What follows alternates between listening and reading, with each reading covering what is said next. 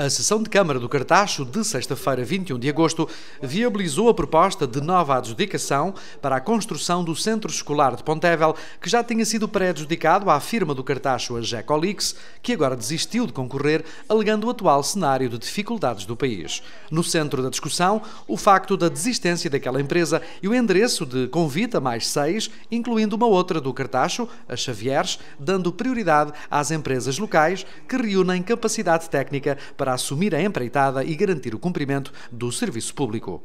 O vereador socialista Marco António questionou o facto da segunda empresa do Conselho não possuir a classe respectiva do IMOPI para responder aos cadernos de encargos, apesar de o poder fazer em consórcio, sugerindo o convite a um número mais alargado de empresas do Cartacho.